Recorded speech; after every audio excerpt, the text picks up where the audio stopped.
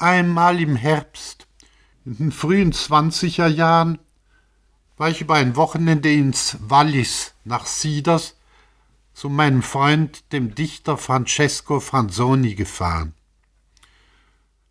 Am Sonntagmorgen war es kühl geworden, der Himmel war bedeckt, die Luft sank von den beiden gewaltigen Gebirgswänden ins Tal und auf den Höhen war Schnee gefallen. Franzoni hatte bei Rilke angefragt, ob wir ihn nach Tisch besuchen könnten. Um nicht zu früh bei ihm einzutreffen, machten wir zuerst einen Spaziergang durch die Stadt und dann um die Stadt herum. In sehr belebten Straßen und Gassen roch es nach Wein aus den Kellern erklang Gesang. Beim Verlassen der kleinen Stadt kamen wir an einer Metzgerei vorbei. Ein sonntäglich gekleideter Bauer zerrte an einem Strick ein kaum halbjähriges Kalb hinter sich her. Das Kalb widerstrebte. Franzoni und ich blieben stehen. Und war der am Strick reißende Mann vor die rot gestrichene Tür der Schlächterei gelangt? Das Tier sperrte sich mit allen Vieren, gleich spürte es Blutgeruch, und plötzlich wandte es sich um und schaute uns beide an, seine stumme Verzweiflung war so deutlich zu erkennen wie in einem Kindergesicht. Oh, das ist unerträglich, rief Franzoni. Aber schon bevor ich überlegen konnte, hörte ich mich fragen, wie viel gibt ihn da schlechter? Der angeredete Besitzer des Kalbes, misstrauisch und mürrisch, nannte eine damals noch recht unbeträchtliche Summe. Franzoni und ich prüften unsere Barschaft und kurzerhand, ja, leichtsinnig kauften wir das Kalb und zogen den Berg hinan, immer wieder anhaltend, wenn das nun plötzlich munter gewordene Tier am Wegrand zu fressen begehrte. So langten wir in Mysot an.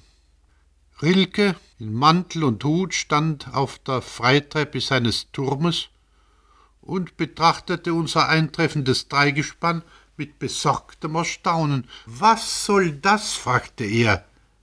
Wir banden das Tier an den Zaun und erzählten unsere Geschichte. Ja, und jetzt?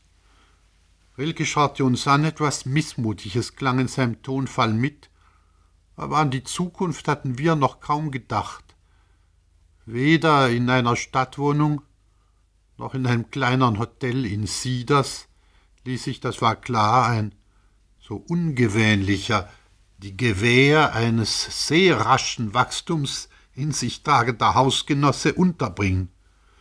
Wir sprachen nicht darüber, wir machten uns auch noch keine Gedanken, aber hinter den Gedanken legte sich dennoch etwas zurecht.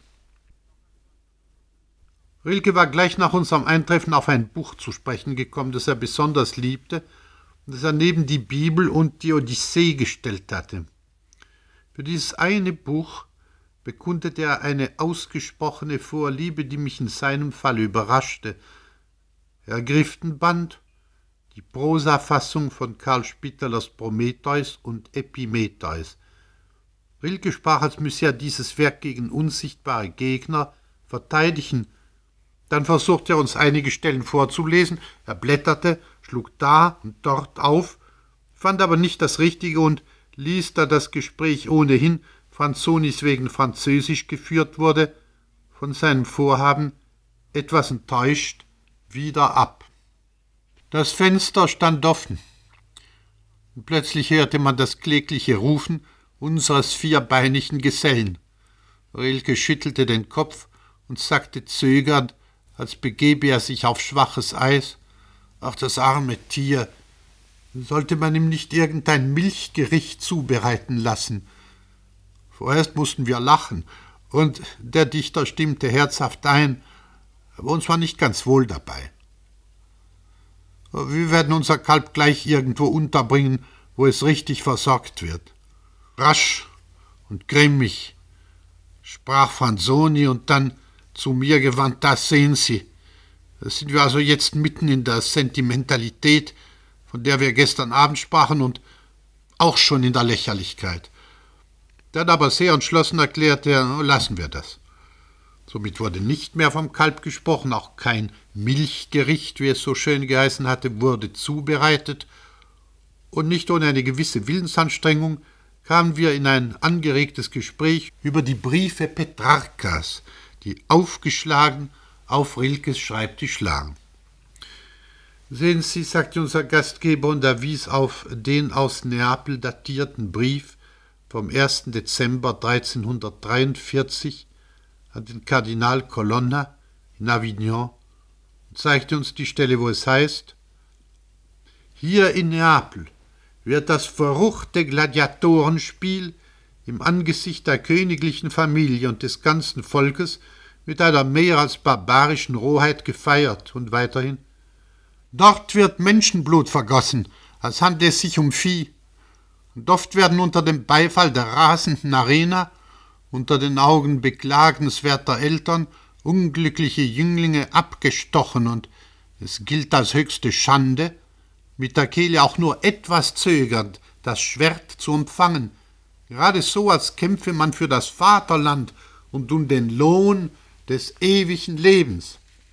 Dorthin wurde ich zunächst völlig ahnungslos geführt, an einen Ort, dicht bei der Stadt Carbonaria geheißen, nicht unverdient trägt er diesen Namen, schwärzt doch dort die Werkstatt der größten Verbrechen blutdürstige Schmiede am Amboß des Todes. Die Königin war zugegen und der junge König Andreas, ein Knabe von hohem Geist. Zugegen war Neapels ganze Ritterschaft, der es keine an Wohlverhalten und an Anstand zuvortut. Das ganze Volk war herbeigeströmt. Ich strengte meine Augen an im Glauben, ich würde etwas Großes zu sehen bekommen. Plötzlich brach ungeheuer Beifall los. Ich blickte um mich und siehe, ein wunderschöner Jüngling stürzte vor meinen Füßen zusammen, vom Dolche durchbohrt. Am ganzen Leibe schaudernd sprang ich aufs Pferd, gab dem Tier die Sporen und floh dem Schauspiel des Grauens und der Hölle. Fanzoni schaute mich an. Nun sehen Sie, sagte er, es war immer so. Gladiatorenkämpfe überdauern die zwei christlichsten Jahrhunderte und sind im vierzehnten noch lebendig. Nun trieb es mich Franzoni zum Widerspruch zu reizen, eine seiner großen, empörten Perioden auszulesen. Vielleicht, warf ich ein, hatten Petrakas Zeitgenossen stärkere Nerven als er, als wir. Vielleicht erging es ihm wie den rührseligen Damen bei spanischen Stierkämpfen. Aber Franzoni schwieg, und nun meinte Rilke, er war des Mitleids fähig. Er versetzte sich in diese sterbenden Jünglinge, identifizierte sich. Ich habe Menschen gekannt, die sich wirklich in die leidende Kreatur zu verwandeln vermochten und die Leiden der Unschuldigen auf sich nahmen.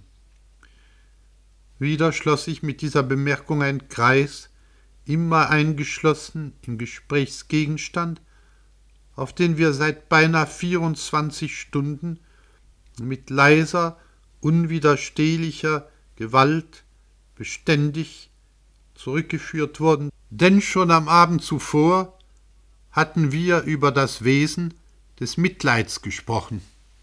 Der rechte Einklang aber fehlte an jenem Tage und während des ganzen Besuches.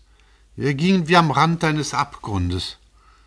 Rilke schien jetzt da müde zu sein, deshalb brachen wir auf, und er begleitete uns bis zur Gartenpforte. Wortlos lösten wir das Kalb vom Zaun und schlugen den ebenen Weg zum nahegelegenen Dorfe ein. Noch lang stand der Dichter da, winkte uns, schaute uns nach, wie wir so zu dritt davonzogen, aber beim letzten Winken hob er leicht die Schultern und ging in seinen festen, harten Turm zurück. Beim Dorfeingang begegnete uns eine alte Frau, schwarz gekleidet und würdig. Sie blieb stehen und betrachtete uns erstaunt. Das Kalb auf seinen zitternden Beinen klagte. Ich grüßte und begann Guten Abend, können Sie uns einen Rat geben? Wir haben hier, wie Sie sehen, ein Kalb und wir möchten es gerne verschenken. Die Alte wich zurück, als sei etwas nicht geheuer. Sie begab sich in den Schutz seines Hauses, den Rücken an die dunkel gebeizten Holzwände drückend, die gefalteten Hände hielt sie auf der Höhe der Magengrube.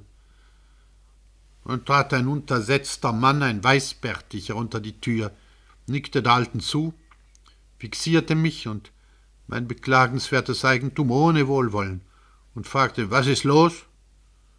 Die Frau murmelte etwas mir Unverständliches, und stellte der Mann sich vor mich hin und äußerte barsch, woher haben Sie das Tier?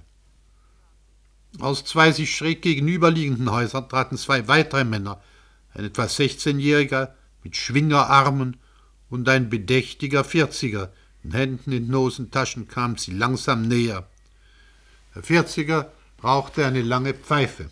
Jetzt gingen viele Fenster auf in der Dorfgasse, Gestalten beugten sich hinaus, Halbwüchsige und Kinder drängten sich heran, Frauen und Mädchen näherten sich, Schließlich umstanden mich alle Dorfbewohner, und mitten unter ihnen stand Franzoni, und auch er schaute mich an.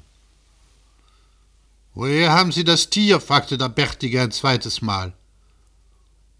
Ich habe, wir, wir haben das Kalb gekauft, gekauft von einem Mann, der es zum Schlechter bringen wollte.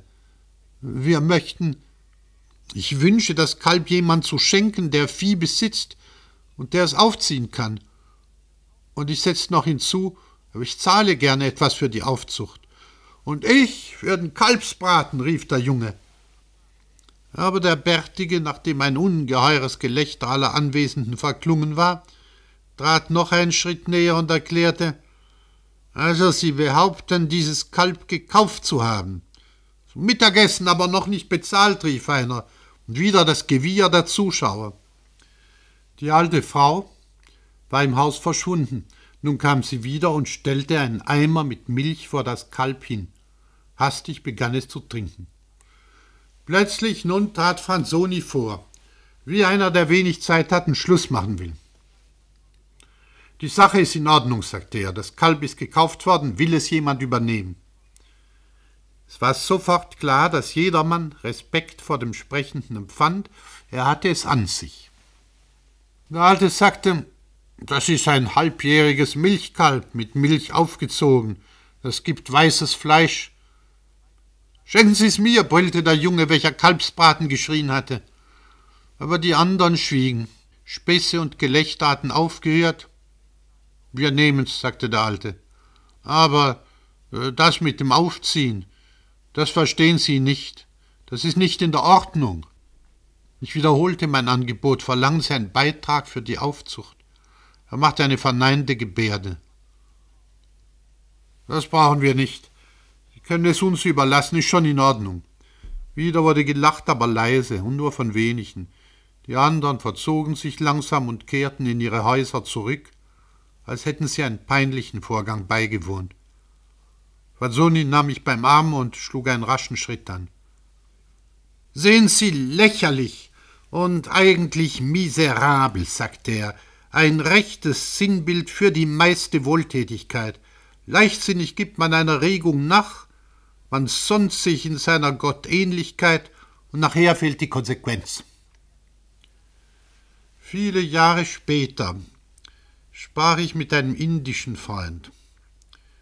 Ich erzählte ihm die damals schon weit zurückliegende Geschichte vom gekauften Kalb. Da wurde nachdenklich, dann musste er lächeln da sagte zu mir, nun ja, hören Sie dies. Einmal saß Buddha in einer erfolgreichen Stadt, unerkannt, im Gewimmel einer Hauptstraße, mit dem Rücken an die Lehmmauer eines Hauses gelehnt, und da kam ein Metzger seines Wegs, der riss an einem Strick ein kleines Kalb den durch knarrende Ochsenkarren gekerbten, harten Fahrrinnen entlang. Da wurde Buddha von Mitleid, mit dem ans saftige Grüne, die Wärme des Euters, die sanfte Nähe der Mutter gewohnten Tier ergriffen, und er spürte den unwiderstehlichen Drang, teilzunehmen und wahrhaft mitzuleiden. So entsandte er seine eigene große Seele in das in den Tod gehende kindliche Tier, die Seele aber, eben ihrer Größe halber, fand in dem zarten Geschöpf keinen Platz, und ihr wesentlicher Teil sprang in den Metzger über. Jetzt jedoch entstand in dem Metzger eine so grauenhafte, so qualvolle Verwirrung, ein so marternder Kampf, ja wahrhaftig ein Leiden ohnegleichen, so dass Buddhas Seele raschestens in seinen eigenen, am Boden sitzenden und an die Hauswand gelehnten Körper zurücksprang. Buddha aber begriff, dass man den Dingen dieser Welt ihren Lauf lassen müsse, und er ließ die Lieder auf seine Augen sinken.